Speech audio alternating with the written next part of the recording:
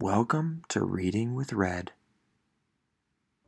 Look at that solar flare. The sun is shining today. We are reading chapter 6 Boss Battle. Welcome to Reading with Red. If the sun goes down, or if red does, I will change the camera. But right now he is alert. He is people watching. He is dog watching. And so far nothing has come. But he's patient. And you should be too while we read aloud. I just said you were patient.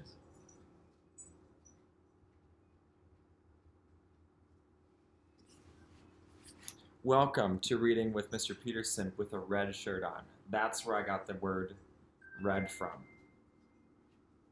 No, you can't come back. You're done. Boss Battle, Chapter 6. With me and Eric and their talons, the bats flew toward the tiny island. As we got closer, the speck of land came into focus. Just a beach the size of a small backyard with a small palm, single palm tree in the middle. When we reached the island, the bats dive bombed, then whomp, dumped us into, onto the beach and soared off. I brushed the sand out of my clothes. Was that supposed to happen? Of course. I walked with, toward Eric. We have to talk. I put my finger in his chest. You can't keep surprising me with.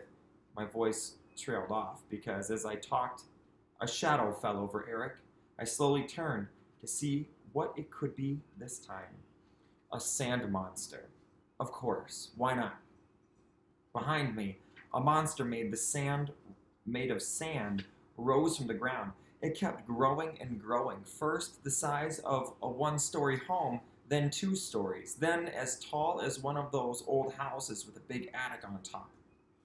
Its face formed into angry eyes and massive fangs. I jabbed my thumb toward the furious monster behind me. Want to tell me what this is? The boss. I don't know what that means. This is a video game. Every few levels end with a big boss battle. You're speaking gibberish. Look who decides to show up now that there's a boss battle. Yeah. I knew you'd get roped in. You couldn't stay away, could you? It's too good. Okay. Eric rolled his eyes. If you blast him enough times in a glowing spot on his back or on his belly, he'll disappear and the portals will pop up. Fine, I'll be happy to go home where people aren't constantly tricking me and pushing me off waterfalls. Fine, fine! I marched in front of the sand monster and it roared like a dinosaur. Oh, ooh, I'm real scared, I said as I blasted it in the mouth. What are you gonna do, eat me? I charged up the full blast and shot it in the belly. It fell over shrieking, then grew bigger and angrier. Go ahead, eat me. It won't even hurt. I'll just come right back here and we'll do the whole thing again because this is a video game and video games are stupid.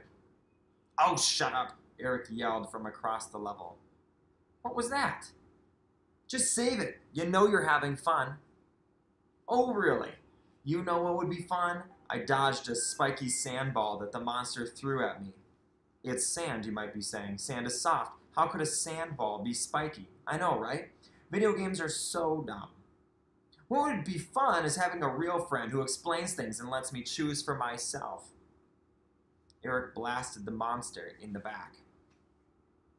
And it fell over again. What? So I'm not a real friend now. The monster grew so big that I couldn't see Eric anymore, so I just started yelling at the monster's belly, hoping Eric could hear me on the other side. I don't know, real friends trust real friends trust each other. I could hear Eric charging up his blaster. I charged mine too. Real friends know each other, Eric said, and this friend knows that you never want to have fun or make decisions for yourself. So sometimes he has to push you to push you a little bit. Well, maybe you don't know me as well as you think you do. I blasted the monster's belly.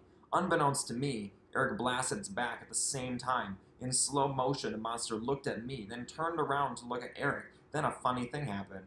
Its head started twitching unnaturally. As the monster's head snapped from me to Eric and back again, it started to roar. or at least it started trying to roar. Roar, roar, roar, roar, roar, roar, roar, roar. It sounded, yeah, I know. Isn't that weird? Oh, you're sweet. It sounded like a lawnmower trying to start. Roar, roar, roar, roar, roar, roar, roar. Suddenly, the sand monster and island disappeared. Everything faded away, and we were left in a bright blue room. On the wall, words started to appear as if they were being typed. Error 2302. Activate Hindenburg Protocol? Yes or no? Okay, I said to Eric, what's the Hindenburg Protocol? His face was kind of white. I don't know. What do you mean you don't know? I mean, it's never done this anything like this before. So, should we pick no? Yeah, probably.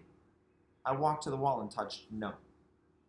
The message just disappeared. Eric and I looked at each other and waited for something to happen. Then the message started typing out again. Error 2302. Activate Hindenburg Protocol? Yes or no? I guess we don't have a choice, Eric said. He touched yes, and the room faded away. The island and ocean came back, but no more monster. That was weird. Yeah, super weird. Three portals started pushing through the ground in front of us. Why don't we both get out of here? Eric said. We walked toward the middle portal, the home one, but stopped short once it began revealing itself. Something was wrong. The two other portals glowed bright blue and purple like before, but not the middle one. The middle one was dull gray, and it was locked. And that's the end of chapter 5.